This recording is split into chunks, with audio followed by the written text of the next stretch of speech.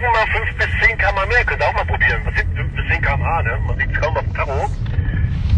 Man spürt so an der Dynamik. Abfangen? Gott. Ja, der war ja langweilig. Einen gebe ich dir noch. Ah, ah, Und dann? stark, aber du musst von der Bahn runter. mit dem Platten zum Tripping. Da müsst ihr aufpassen, wo die Räder sind.